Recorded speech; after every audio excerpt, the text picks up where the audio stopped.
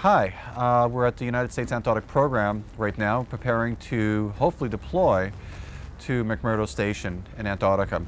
It's been a long journey. Some of us have traveled almost 40 uh, hours by uh, plane uh, through delays, and now we're here. Kirsty, hi. Nice to meet you. Pleasure. Hi. Welcome aboard. Thanks very much. We have talented and dedicated technicians that we take to the field. They're very good at being in remote, stressful situations and making sort of rubber band and duct tape type repairs on the fly. I mean, this is a place I've always wanted to go. Well, well, yeah. And now we're almost there. Offshore New Harbor, that area is undiscovered country when it comes to science. Now suddenly we're, we're going tomorrow. It's, uh, I'm really excited now. Hi, Shakira Brown. I'm here. It's October the 9th, um, early in the afternoon. We're at the CDC, which is where you get all your cold weather gear. This is your face mask, your hat. The wolf socks are awesome. Get your goggles. So basically, you're in layers most of the time. From top to bottom, you're in layers. You have to try everything on before you go to make sure it fits you correctly, not too tight, not too loose, because that can actually be a little dangerous once you get on the ice. It took a few minutes, some playing, some going back and forth, but I think I'm ready to face the ice. I think it's a good experience for anyone to do, and young person especially when they don't have a lot of commitments to go down to Antarctica and really get that experience. It's a life experience. You say, "Yeah, I'm going to Antarctica," and they're like, "What? What for?" You always get that look, you know, that strange look.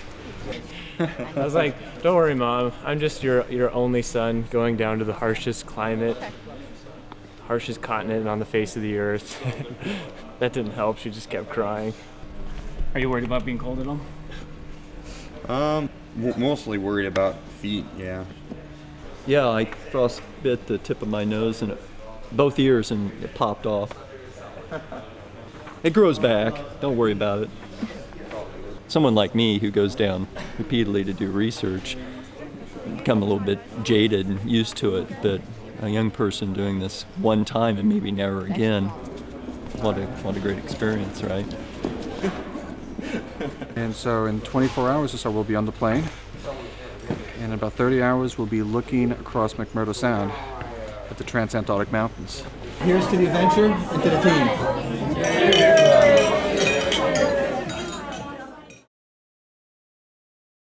Uh, today we're going to uh, get on a C-17 uh, transport plane and take a five-hour flight to McMurdo. We have been issued our clothing to wear in Antarctica, and now we have um, packaged them all up uh, to be loaded onto the plane, and hopefully we'll be taken off in a couple hours. Adventure begins again. Yes, it does. Into the into the breach. There's a lot to be nervous about. This is a, a huge undertaking. Just the educational side of it alone is overwhelming at times. About a minute you slip and start beginning slipping into hypothermia, right? Yeah. Yeah. That sounds like good, clean fun. It's one of those things that you're never sure about until you jump into it, you get into the midst of it, and you really just, you know, you make it happen. Uh, I worry about, you know, the equipment, my equipment, the seismic equipment, you know, breaking down. The last two seasons we had lots of problems, but always managed to sort of work through all of those problems. It's okay not to be perfect down there. We're all in a place where uh, we've been ripped away from our loved ones and our everything that's familiar. We're put into a, an environment that's very foreign for most people, and so it's going to be a little overwhelming. The thrill never ends for me. Uh, the memories of past adventures and the thrill of knowing that uh, the best one is yet to come. Greatest thrill in the world. That's the defining moment, the minute I hit the ice. It's one of those places where no one gets to go. Not too many people want to go um, because of the harsh climate, but it's, I feel like this is kind of the start of something new. I'm finally here.